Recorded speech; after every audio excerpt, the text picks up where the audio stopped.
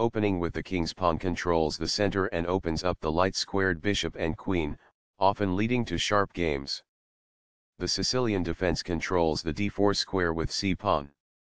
nf3 develops the knight toward the center to prepare for a d4 pawn push, where the knight will recapture if black captures on d4. nc6 helps control both the d4 square and the e5 square.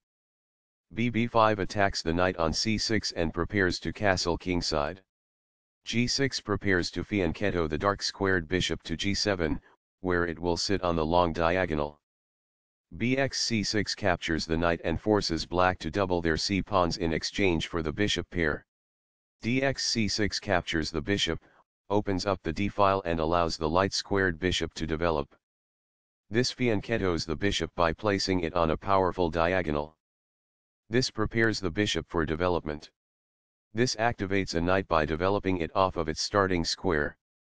This develops a knight off its starting square, getting it into the action. This develops a bishop off its starting square, getting it into the action. This develops a queen off its starting square, getting it into the action.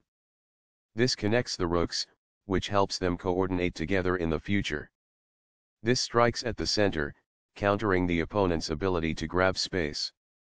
This is an equal trade. This is the only move that works. It is the last book move. Takes back. It is best.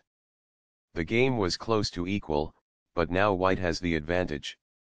It is an inaccuracy. This moves the bishop to safety. It is best. This activates a bishop by developing it off of its starting square. It is best. Right on target. It is best.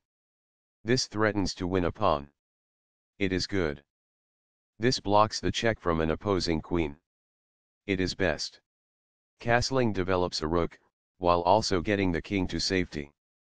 By castling to the opposite side of the board as the opponent, the game will tend to be more double-edged. It is good. This protects an underdefended pawn that is under attack. It is excellent. This threatens to win a pawn. This allows the opponent to kick a queen. It is a mistake. This kicks an opposing queen. It is best. This move puts the queen on a safer square. It is best. Very precise. It is best. That's fine. It is good. This is the strongest option. It is best. Capturing that pawn wins material. It is best. Recaptures. It is best. Takes back. It is best. This develops a piece while also winning a tempo on a queen. It is best. This moves the queen to safety. It is best. This threatens to win a queen. It is excellent. An interesting move, although not technically the best. It is good. Recaptures. It is best. This is not the best. It is an inaccuracy. This move puts the rook on a safer square. It is good. That's a sensible reply. It is excellent.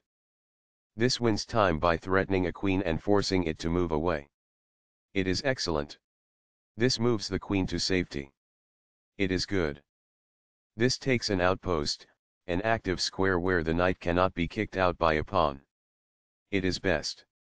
This evades the check from the knight. It is best.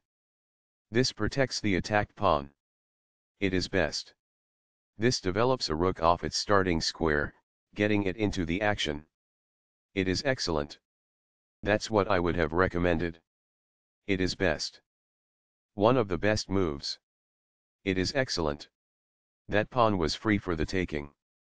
It is best. This removes the attacking knight. It is best. Takes back. It is best.